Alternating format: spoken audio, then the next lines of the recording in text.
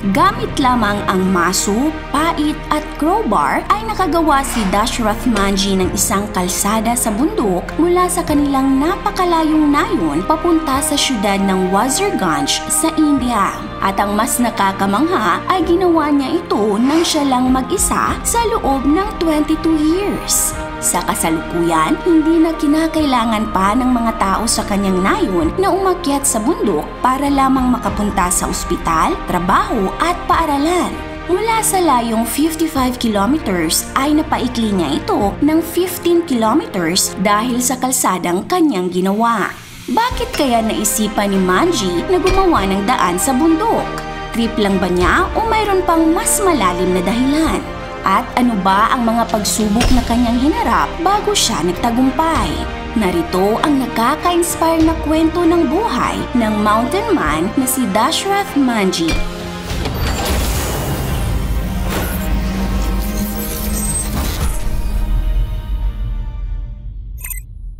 Kwento natin ngayon ay tungkol kay Dashrath Manji na kilala din sa tawag na Mountain Man. Hindi dahil sa nakatira siya sa bundok, ngunit dahil literal niyang giniba ang malaking bundok sa gilor at gumawa siya ng kalsada. Siguro ay maiisip natin na parang imposible naman na ang isang tao ay makakagawa ng kalsada nang siya lang mag-isa gamit lamang ang basic tools na maso, pait at crowbar. Ngunit pinatunayan ni Manji na walang imposible sa taong may determinasyon. Bakit nga ba naisipan ni Manji na gumawa ng kalsada at sa bundok pa siya gumawa?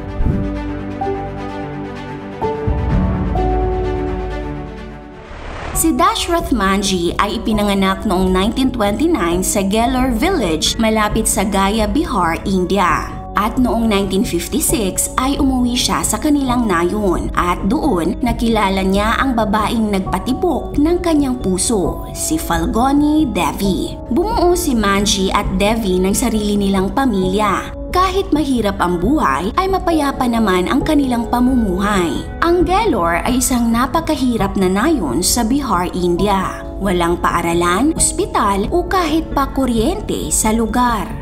Dahil dito, ang mga taga-nayon ay pumupunta sa pinakamalapit na bayan ng Wazirganj para maka-access ng mga basic na pasilidad gaya ng ospital at paaralan. Ngunit para marating ang bayang ito ay kinakailangan pa nilang akyatin ang Gellerganj Atri, ang bundok na may taas na 300 feet na siyang namamagitan sa kanilang nayon at bayan ng Wazirganj. Kung kukuha naman sila ng tubig ay kinakailangan pa rin nilang tahakin ang bundok na ito bago nila marating ang pinakamalapit na ilog. Ganon din kapag may mga emergency ay kailangan pa nilang akyatin ang bundok bago sila makarating sa ospital. At sa sobrang layo at hirap ng daanan ay marami na ang binawian ng buhay bago pa man sila makarating sa ospital. Si Manji ay nagtatrabaho sa isang sakahan sa kabilang bahagi ng bundok. Araw-araw ay inaakyat niya ang bundok para makapunta sa kanyang trabaho nang sa ganun ay mayroon silang makakain. Pagsapit ng pananghalian ay pumupunta ang asawa niyang si Devi sa kanya para magdala ng kanyang pananghalian. Dahil sa walang maayos na daan, madalas ay nadudulas si Devi sa tuwing pupunta siya sa sakahan kung saan nagtatrabaho si Manji.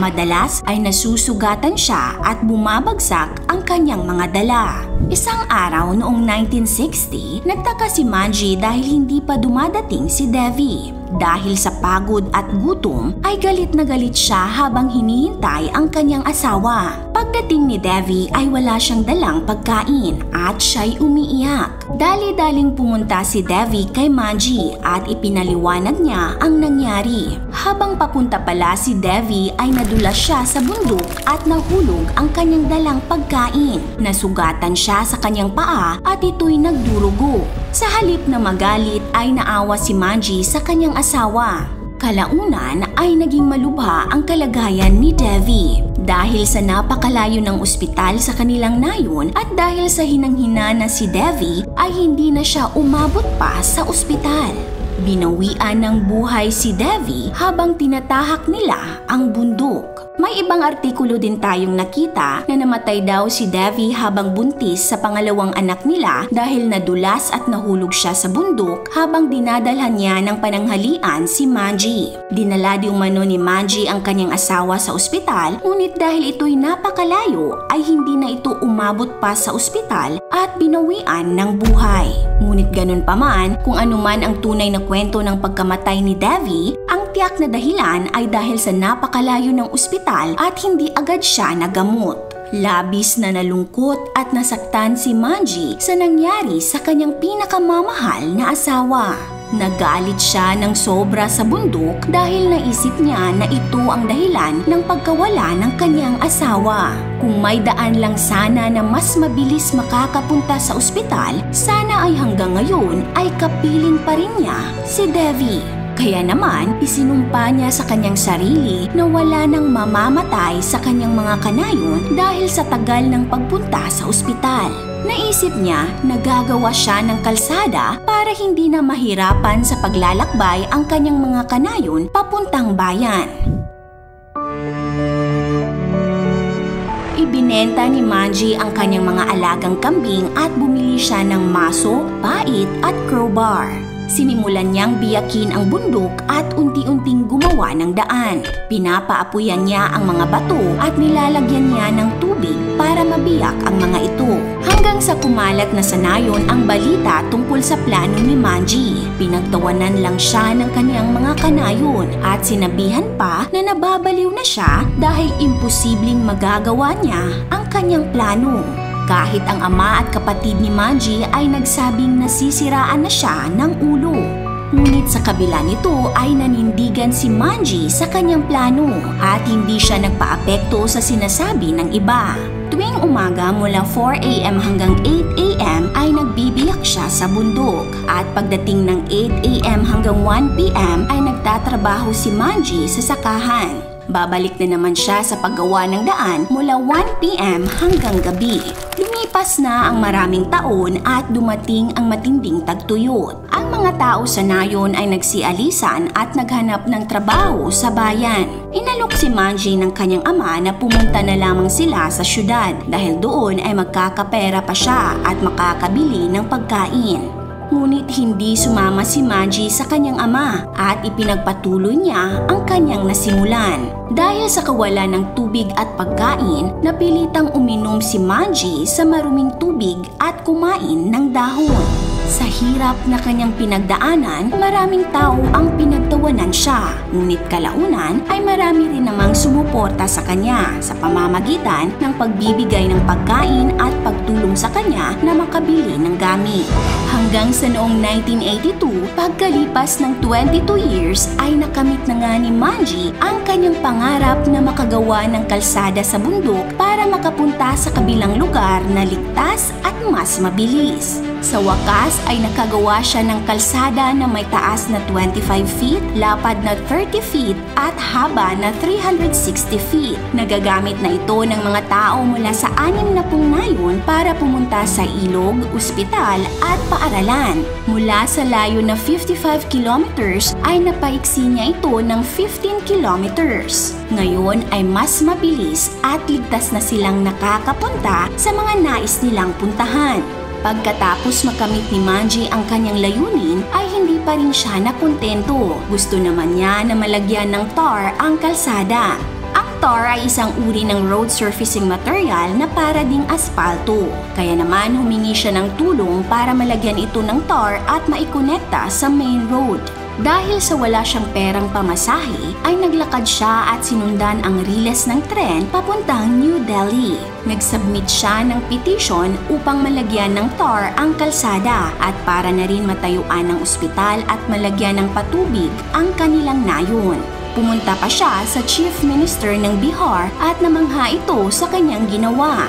Binigyan siya ng gobyerno ng limang ektaryang lupa bilang pabuya sa kanyang dakilang nagawa. Ngunit hindi niya ito tinanggap at dinonate na lang niya ito para pagtayuan ng ospital. Ayon pa kay Manji, wala siyang pakialam sa mga pabuya, kasikatan o pera. Ang tanging nais niya ay kalsada, paaralan, trabaho at ospital para sa kanyang mga kanayon. Ngunit ayon sa gobyerno, aabutin pa raw ng 30 years bago malagyan ng tar ang kanyang kalsada. Sa kasamaang palad, hindi na nakita ni Manji ang kanyang kalsada na nalagyan na ng tar noong 2012. Noon kasing August 17, 2007 ay pumanaw si Manji sa sakit na gallbladder cancer. Noon namang 2011 ay formal na pinangalanan ng gobyerno ang kalsada bilang Dashrath Manji Path. Isinunod nila ito sa pangalan ni Manji. Talagang napakadakila ni Manji at kinukonsider siya ng iba na isang bayani dahil inialay niya ang kanyang buhay para sa kapakanan ng karamihan. Nagpakita siya ng kagitingan, determinasyon at tinulungan niya ang napakaraming tao. Sabi pa ng ibang tao kay Manji noong ginagawa pa niya ang kalsada na mamamatay siya ng dahil lang sa kanyang ginagawa. Ang sagot naman ni Manji ay kailanman ay hindi daw siya mamamatay at iaangat niya ang mga tao. At totoo naman dahil hanggang ngayon ay buhay pa rin ang kanyang mga alaala dahil sa kalsada na kanyang ginawa. Dahil sa nakakamanghang nagawa ni Manji ay ginawan pa ng pelikula ang storya ng kanyang buhay.